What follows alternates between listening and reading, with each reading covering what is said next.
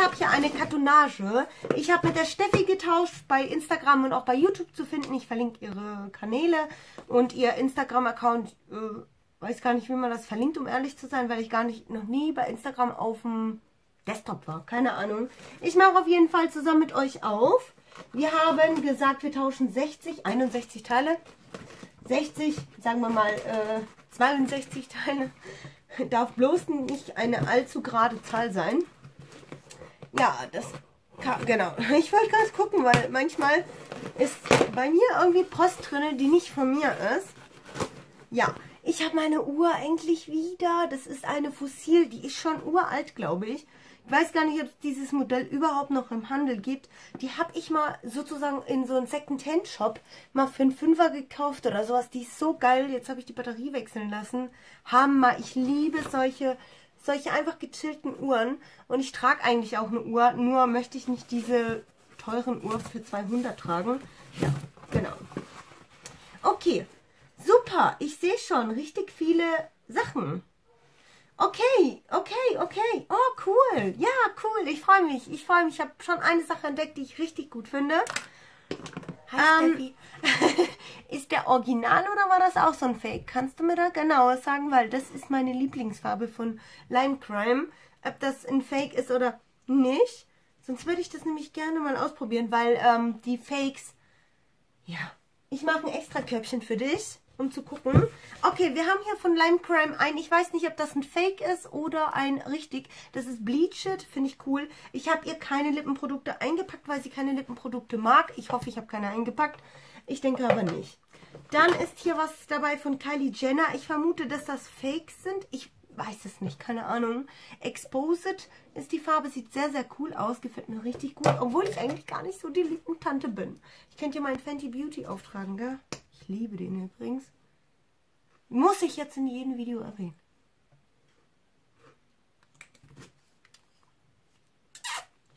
Genau. Mm, mm, mm, dann ist hier ein cooler Pinsel dabei. Wenn das meine Tochter sieht, dann ist er weg. Ich werde ihn versuchen zu verstecken. Nein, Quatsch. Wenn sie ihn haben möchte, darf sie ihn haben, weil ich bin, ja, weiß ich nicht. Ich bin so bei meinen Stammis und meine Stammis und da geht gar nichts mehr. Aber der ist wunder, wunderschön. Ich merke schon, das Video wird länger. Dann ist hier ganz viel ähm, Love drin. Also, wow, wow, wow. Einmal von Love in, äh, oh, cool, Liquid Matte Lipstick in so einem Pink-Rot. Sieht heiß aus, um ehrlich zu sein. Ich weiß es nicht, die sind schon benutzt, ne? Eigentlich mag ich gar keine benutzten Sachen, um ehrlich zu sein. Ja, die sehen relativ benutzt aus, weil, ja, oh, nee. Ich weiß es nicht. Was soll ich machen? Steffi, was da los? Ja, ist leider alle benutzt. Ja, das, ist dann nichts. Und äh, Lip Creams, diese matte Lip Creams mag ich persönlich gar nicht. Ich hatte einen Ton, den hat die Niki mir zugeschickt, der ging. Der ging und war ganz in Ordnung. Also ich schreibe dich gleich mal an, wenn ich hier fertig bin und frag dich mal, ob das Original ist oder Fake oder sonst was. Dann sind hier coole Dinger dabei, so ähm, Pinsel. Den werde ich weitergeben. Ich, ich habe meinen Liebsten von Laurena. Der sieht... Ja, dann mach, mach das im Wohnzimmer. Hula Hoop machen, ne? Das sieht echt edel aus und cool. und Aber ich benutze den nicht, weil der so gewölbt ist. Ich finde, ich habe zu viel Kraft in meinem Finger dann geht das gleich kaputt. Und ich habe von Laurina einen, der ist besser. Bei denen, denke ich, sortiere ich auch aus, obwohl es echt für Kontur gar nicht so schlecht ist. Und ich muss sagen, mein Highlighter ist so geil. Wirklich geil. Soap and Glory. Love It First Blush.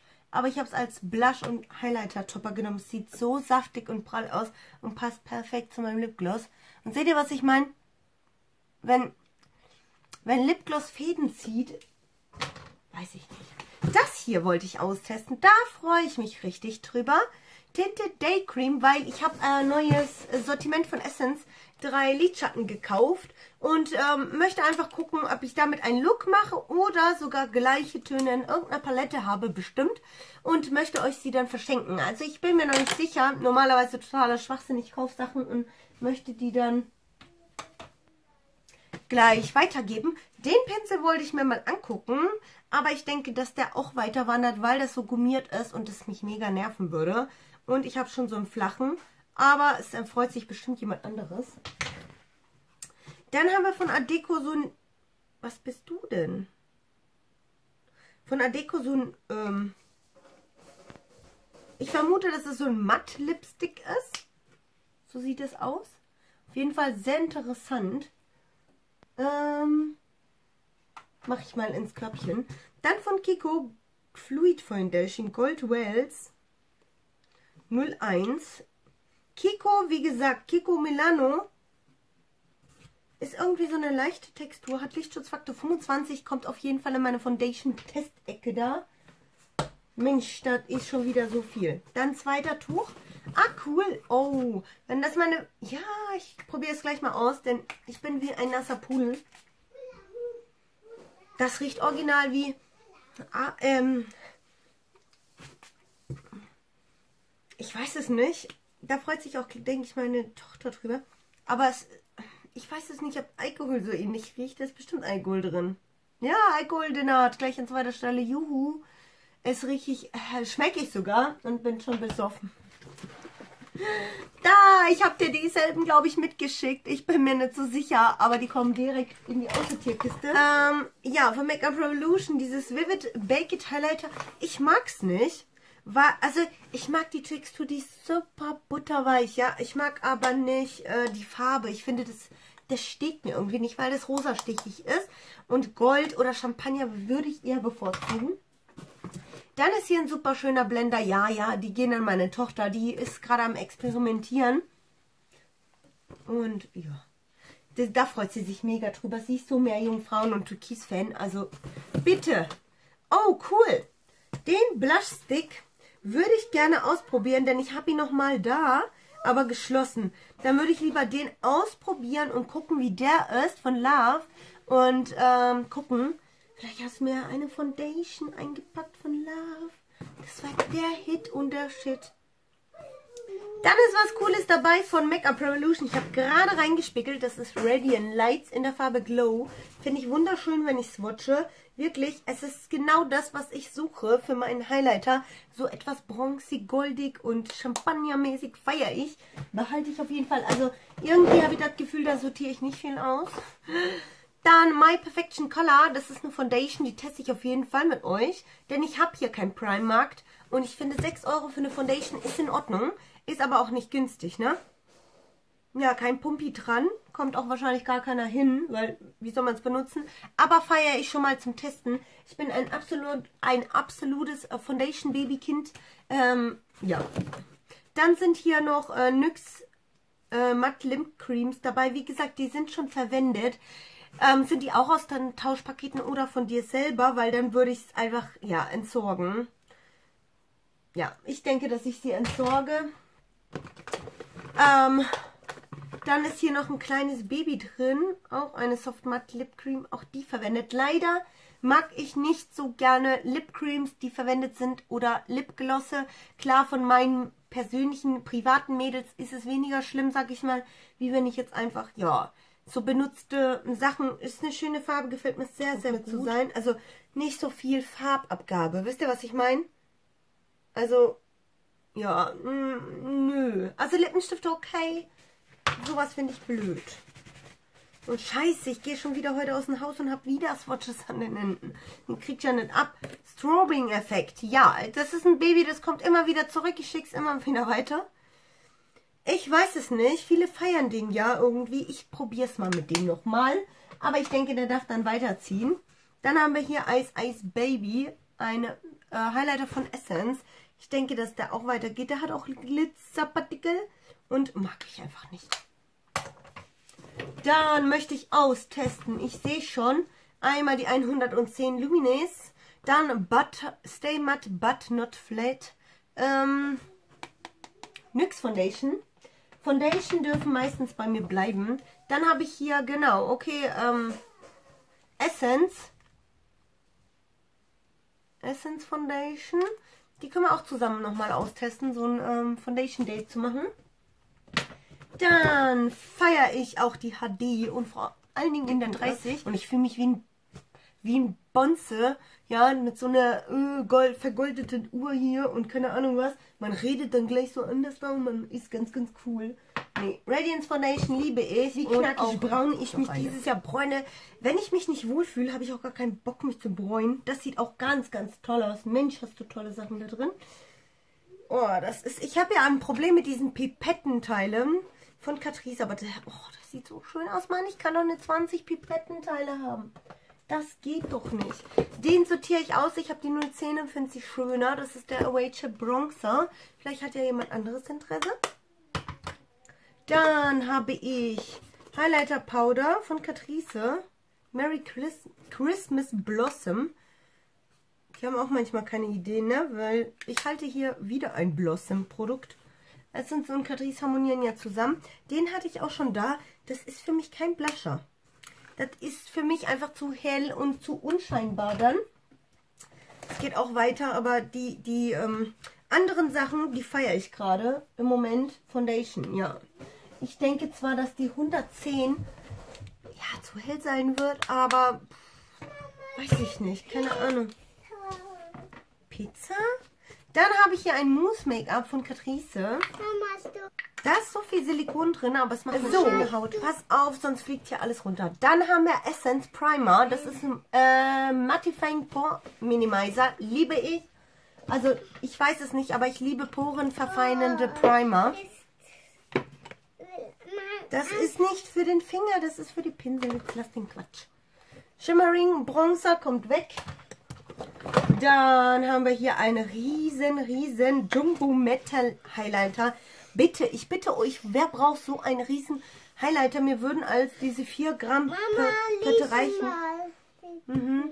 Nee, ist auch nicht mal... Ich finde, das sieht so ein bisschen grau aus. Ich weiß es nicht. Also, ich weiß es nicht. Essence, lass den Quatsch mit so riesen Highlighter. Äh, Highlighter in so einem Pot mit 8 Gramm reicht vollkommen aus. Dann haben wir hier ein Creme Rouge. Ja, das werde ich auf jeden Fall testen. Ich möchte so ein bisschen auf die äh, cremigen Produkte ähm, eingehen, sag ich mal. Das ist auch eine Limited Edition gewesen und werde ich mal testen.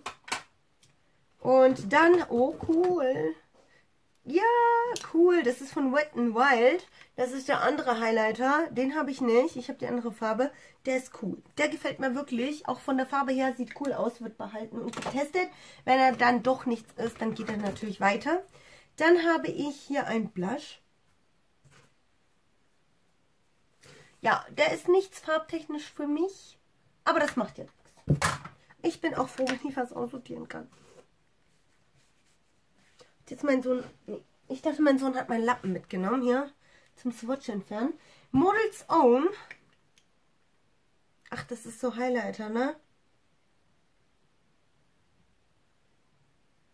Oh, das sind aber tolle Highlighter, muss ich ehrlich sagen. Wirklich. Schaut mal. Sind coole, cool und es ist klein.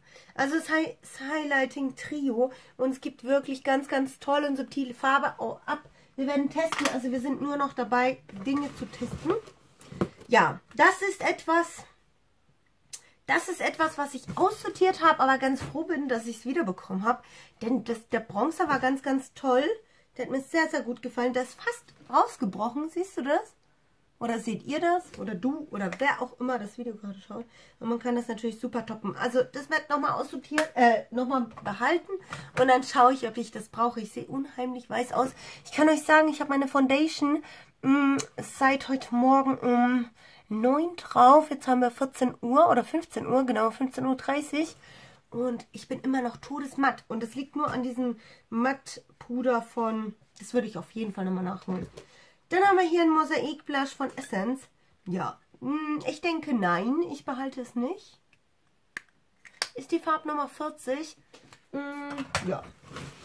Dann haben wir hier noch was. Äh, das hatte ich auch schon mal. Und es wird auch direkt aussortiert. Dann habe ich etwas, was ich unheimlich schön finde und jemand, der das benutzt, denke ich, feiert das Ding auch. Die Verpackung ist natürlich schrottig wie immer, aber der Highlighter ist unglaublich schön. Den habe ich auch behalten, weil der wirklich ganz, ganz toll ist. Aber leider Gottes brauche ich keine Backups in meinem Leben. Das ist ja süß. Das ist ja süß. Das ist doch so eine Fern Miss Piggy. Miss Piggy hat eine schöne Farbe, muss ich sagen. Was ist denn das? Tanning Powder. Sieht toll aus, kann ich mir vorstellen, äh, drauf zu machen. Von der Farbe her, weil das so ein schönes, ähm, ja, fast schon Blushartig Peach Peach geht, dieses Bronzing. Und der Highlighter von, ähm, wenn ihr einen sucht, der wirklich Wumms im Gesicht hat, dann kann ich euch den ähm, Revolution anbieten. Äh, das ist Illuminate und das ist wirklich richtig schön. Also das ist unglaublich, wie, wie zart das auf dem Gesicht aussieht. Also so, weil es einfach von, von der Textur her nichts großartiges hässlich betont. Der bleibt auf jeden Fall auch in meiner Sammlung. Dann ist hier äh, Jumbo Highlighter von der Cubanita LE. Irgendjemand, Jenny Schatz, benutzt du denn den als Illuminator im ganzen Gesicht? Irgendjemand hat das doch benutzt, oder? Mir war das wahrscheinlich zu extrem, aber so als einzelnen Highlighter, ich gucke mal, wie das dann aussieht über meinen Highlighter jetzt. Äh, ich muss mal was testen, ja, weil es ist eine Schande, finde ich, weil es 20 Gramm sind. Highlighter, hallo, Highlighter kommt nur hier drauf, ein bisschen da und fertig. Ja, ich gehe heute so Schminklichter abholen. Nee, das ist, ähm, geht weiter. Ja, ich gehe Schminklichter abholen, weil ich, ähm, kennt ihr die von Ikea, diese Teile, die man dort kaufen kann? Die hole ich. Ja, interessante Farbe hier, werde ich aber auch weitergeben, ist aus einer LE, aus der Glitter, da habe ich ja auch was geholt. Aber es ist nichts für mich. Dann ist Full Essence da, ja, das geht auch weiter. Das mag, ich mag das irgendwie nicht so. Ich weiß es nicht, ich habe es zwar nicht, es ist bestimmt schön. Okay, das ist einfach nur ein helles Puder. Und das ist ein Blush. Echt peachig. Ich teste. Oh Mensch. Und ich gucke nochmal alleine durch, ob ich das wirklich alles behalten muss. Ob meine Seele nicht sagt, lass den Scheiß. Ähm, geht auch weiter. Illuminiert mir nicht genug. Dann haben wir von Catrice was. Das war aus einer LE, da habe ich auch diese Perlen von. Genau, das war aus dieser Perlen-LE. Toll sieht es auf jeden Fall aus. Ich weiß dass ich auch diese Art von, von Blushes eigentlich auch mag. Aber das geht weiter. Ich würde den wahrscheinlich bevorzugen zu nehmen. Der ist matt. Dann habe ich hier was Interessantes. Das ist von Rival de Loop Young. Nee, das, das mache ich komplett weg. Den kann, ich nur niemandem mehr geben. Dann haben wir von Love ein Augenbrauenstift, glaube ich, ne?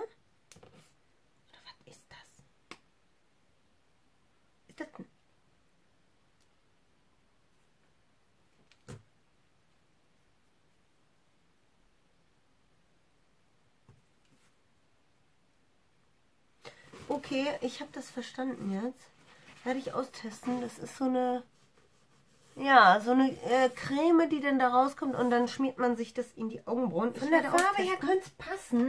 Wir testen mal. Vielleicht sehe ich ja irgendwann aus wie ein Clown. Das würde ich ja auch feiern. Dann ist hier ein Puder drin. Das ist das Highlighter Powder. Ja, so subtil. Gibt es das noch im Standardsortiment? Habe ich noch nie gesehen. All Your äh, Luminous Glow. Der Glow ist wirklich schön. Also der ist ganz subtil. Eigentlich kann man sich das auch ins ganze Gesicht klatschen. Hier ist auch ein Hintepen drin.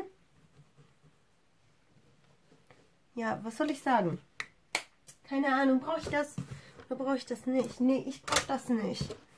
Dann brauche ich auch nicht, obwohl ich sie toll finde, weil ich sie schon da habe, diese Palette. Da freut sich auch jemand anderes drüber. Und diesen Blush hier, Touch of Berry. Touch of Berry, habe ich den mal leer gemacht? Weiß ich nicht. Irgendjemanden äh, habe ich leer gemacht mit P2. Ja, schöne Farbe, aber geht auch weiter. Dann habe ich hier von Youster eine Palette, eine For the Ultimate Natural Glow. Die werde ich austesten. Ich habe da so einige Sachen, die ich einfach austeste und dann geht der Rest weiter. Von Alverde ist eins äh, Romantico dabei. Ein tolles Rouge. Werde ich mal austesten. Ich glaube, das riecht aber nicht mal gut. Nee. Mm -mm. Mm Kommt in die... Also, das riecht man am Alverde. Das wird dann richtig so nach... Ähm, Essig riecht das. Nach Essig und nach Putzmittel. Ist nicht gut. Also ich kenne den Alverde gut, äh, Geruch, aber gut. Das ist jetzt nicht so ein Drama. Verkraften wir alle. Ähm, dann ist hier eine Shape and Blush Palette von, weiß ich nicht, drinne. Sehr interessant, geht auch weiter. Ich nutze sowas eigentlich nicht. Und dann The Glow Must On. Das ist cool, finde ich cool, habe ich mal angeguckt, aber auch das ist mir leider zu groß. Ich finde, das ist äh, so ein tolles Produkt. Und man kann wirklich tolle Looks schminken, aber der Glow ist auch unglaublich, ne? Aber wohin mit so einem Riesenteil? Nein. Dann haben wir noch ähm, das hier von Catrice. Oh, das ist sehr pink. Das ist Ina Denk Pink. Ding, Think Pink. Und das hier, da haben sich ja viele beschwert, weil es so pudrig irgendwie war. Ich finde das cool, weil man einfach nur ein Produkt mitnehmen muss. Oder kann. Ich finde da wieder die dunkle Farbe sehr interessant, aber vielleicht freut sich da jemand anderes. Sieht so ein bisschen aus wie Smashbox. Und das letzte ist Contour Kit von Primark. Das sieht so aus, ist hochwertiger sogar. Ja, genau. Und ja, ich freue mich. Ich habe einige Sachen. Der Rest kann weitergehen. Mädchen ist leer. Und äh, ja, ich freue mich auch, dass ihr mitmachen, äh, mit äh, gucken konntet, was ich behalte. Und im Endeffekt sortiere ich dann nochmal zu Hause aus. Also selber für mich, weil ich gucke dann einfach die Dinge an, ob es mir überhaupt gefällt oder nicht. Und ja. Genau. So ist es. Und, und dann sortiere ich aus. Äh, wir schminken uns dann ein Fullface auf meine Mädels, die mir mit mir getrasht haben. Ich hoffe, es hat euch wie immer gefallen. Es wird noch ein Trash-Paket folgen und dann sehen wir uns wieder. Ciao.